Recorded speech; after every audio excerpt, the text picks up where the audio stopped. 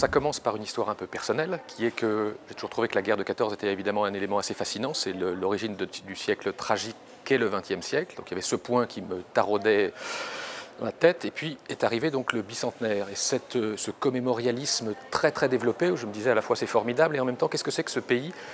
Qui rentre dans l'avenir systématiquement avec un rétroviseur à la main. Euh, et, je me suis dit, mais au fait, la guerre de 14, alors on dit euh, Sarajevo, pas Sarajevo, guerre ou pas guerre, euh, la bataille de la Marne, et voilà, je me rentrais là-dessus en disant un petit côté what if? Et ça, ça rebondissait avec un, quelque chose qui, revenait à une époque où j'étais plus jeune, où j'avais lu une uchronie assez formidable qui est peu connue, qui est un, texte de Caillois qui s'appelle Ponce Pilate, où il imagine que ce qui est libéré, c'est pas c'est pas euh, Barabbas, mais c'est le Christ. Et sur cette base-là, je me suis dit, mais au fait, qu'est-ce qui serait passé si? Qu'est-ce qui serait passé si? Qui renvoyait aussi à quelque chose d'assez personnel en disant, en fait, c'est quoi le destin? C'est quoi Chacun, on présente nos vies comme étant quelque chose d'absolument un peu déterminé. J'ai rencontré mon conjoint, j'ai rencontré mon mari, ma femme. Ouais, si tu avais été sur l'autre trottoir à ce moment-là, ça raconte quoi? Donc ça, c'était un peu les idées de fond. Et après, je me suis dit, mais comment le traiter le plus intelligemment possible?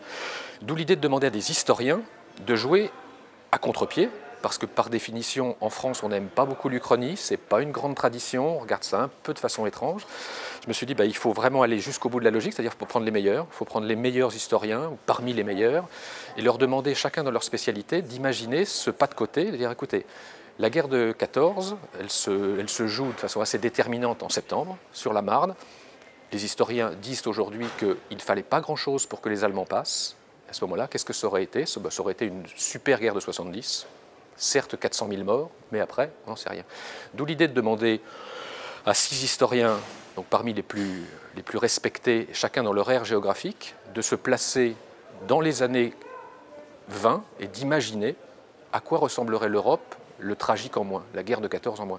Ce qui a été assez passionnant, c'est que pendant 18 mois, ces historiens se sont réunis chez moi et régulièrement, s'engueulaient, j'emploie le terme, sur des événements qui ne se sont pas passés. Donc on avait les meilleurs historiens, des Audouin Rousseau, des Robert Franck, euh, des Pascal Horry, des Pierre Saint-Garavelou, qui disaient mais non, c'est pas possible, on ne peut pas imaginer ça, alors qu'ils discutaient entre eux d'éléments qui ne se sont pas déroulés. Donc je trouvais ça assez passionnant de les avoir, eux, accepté de jouer ce rôle-là, et en plus de demander donc à des romanciers qui, eux, dont le métier, c'est la fiction, de travailler sur quelque part une fiction qui leur est imposée. Autrement dit, d'imaginer des personnages, et il y a cinq romanciers, dont Pierre Lemaître, qui se sont euh, prêtés au jeu et qui ont accepté de choisir un personnage à qui il arrive quelque chose dans un contexte qui est celui des années 20, où la France a perdu la guerre.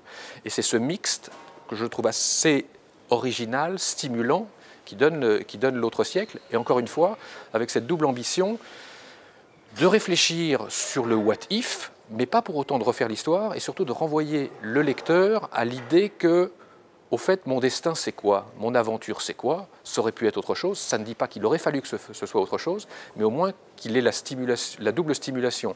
Et une stimulation, parce que c'est du très haut niveau en termes de qualité historique, c'est du très stimulant également parce que les romanciers sont assez passionnants, et en même temps, le lecteur se dit, au fait, et moi dans cette histoire? Voilà un peu l'architecture euh, et la, jeunesse du livre. Je crois que ça doit rentrer de plus en plus. Le fait que d'ailleurs des, grands historiens qui sont dans l'autre siècle, je veux dire des gens comme, qui sont plutôt en fin de carrière, comme Robert Franck, et des jeunes historiens comme Pierre Saint-Garavelou, montrent bien que de part et d'autre du spectre, quel que soit le prestige acquis à l'université, maintenant, ils commencent à utiliser cet élément-là comme élément de réflexion sur leurs propres travaux.